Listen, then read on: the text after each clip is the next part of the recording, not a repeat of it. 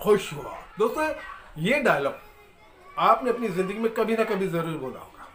और अगर बोला नहीं होगा तो सुना ज़रूर होगा अपने आसपास किसी भी, अपने दोस्त के मुँह से या किसी के भी मुँह से। ये डायलॉग था ही इतना फ़ेमस लेकिन पता है जब राइटर जावेद अख्तर साहब ने ये डायलॉग फ़िल्म के डायरेक्टर शेखर कपूर को सुनाया तो उन्होंने रिजेक्ट कर दिया था।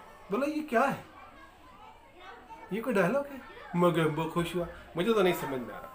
लेकिन जावेद अख्तर साहब ने उन्हें अच्छी तरह समझाया कि ये डायलॉग हिट होने वाला है। एक समय आएगा कि जब भी कोई खुश होगा पब्लिक के बीच में, घर में तो एक बात ज़रूर बोलेगा मोगम बहुत खुश हुआ। और राइटर जावेद अख्तर साहब ने फ़िल्म के निर्देशक, मिस्टर इंडिया के निर्देशक शेखर कपूर को कन्वेंस भी कर दिया कि इस डायलॉग को फ़िल्म में तकिया कलाम विलन का तकिया कलाम के रूप में रखा गया। शेखर कपूर साहब भी जावेद अख्तर साहब की इस बात को मान गए और ये डायलॉग फ़िल्म में रखा गया और वाकई में ये डायलॉग हिट हुआ और आज तक हिट है।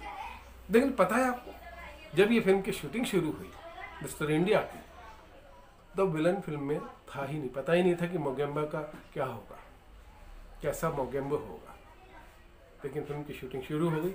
अक्सर शूटिंग के दौरान शेखर कपूर साहब जावेद अख्तर से पूछते कि, भाई, मेरे विलन का क्या हुआ? क्या सोचा है कि कैसा विलन रखेंगे हम लोग? क्या गेटअप होगा? क्या तकिया कलाम होगा उसका? और जावेद अख्तर साहब अक्सर उन्हें टाल देते कि हाँ मैं सोच रहा हूँ, कोई अच्छा विलन ही रखेंगे। देखते हैं क्या बनता है। अनिल कपूर के भाई बोनी कपूर प्रोड्यूसर थे। डेट अनिल कपूर की थी, श्रीदेवी की भी थी। तो शूटिंग लगातार चल रही थी। कुछ सीन तो ऐसे पिक्चराइज हो गए थे, जिसमें विलन के आदमी लोग आकर अनिल कपूर से लड़ाई झगड़ा करते हैं, धमकी देते हैं, मारपीट करते हैं, और फिर वापस चले जाते हैं पिट कर। लेकिन जो ऑर्डर देने वाला था, जो मेन विलन था, जो कहता है कि जाओ, उस जगह को कब्जा कर लो, अनिल कपूर की पिटाई कर दो, वो सीन रह गया था, क्योंकि विलन फाइनल नहीं था। और मार खाने के बाद जो विलन था, वो उन गुंडों के साथ क्या करेगा, ये भी रह गया था, क्योंकि विलन ही फाइनल नहीं था। तो एक तरह से जो आदमी हैंडल कर रहा है विलन गुंडों को, उसका आता पता नहीं था। और गुंडे बेचारे मुफ़्त में मार खा रहे थे। और एक वक्त ऐसा आया, जब सारे सीन पिक्चराइज हो गए, लेकिन विलन का किरदार रह गया। तब शेखर कपूर साहब ने जावेद अख्तर साहब से कहा कि, भाई, क्या हुआ मेरे विलन का?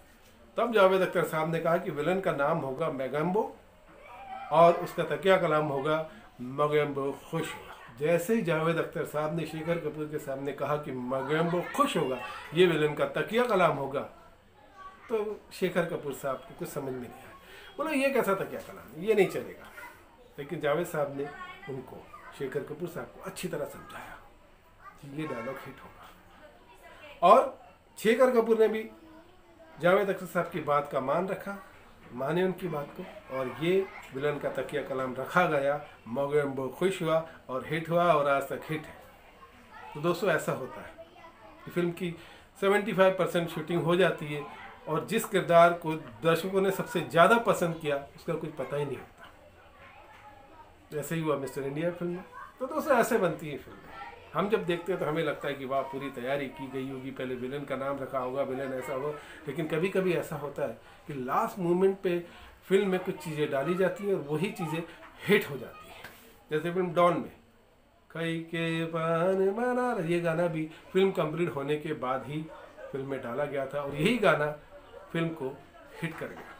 तो दोस्तों, ऐसे बहुत सारे और भी किस्से हमारे पास मौजूद हैं, बॉलीवुड के जो हम आपके साथ शेयर करना चाहते हैं। अगर आप उन किस्सों से जुड़ना चाहते हैं तो हमारे चैनल बॉलीवुड चैनल को सब्सक्राइब करिए और मेरे अगली वीडियो का इंतज़ार करिए। और एक बात याद रखिएगा दोस्तों, इस वीडियो के बाद एक विज्ञापन फ़िल्म आएगी, छोटा सा ऐड आएगा, उसे पूरा देखिएगा।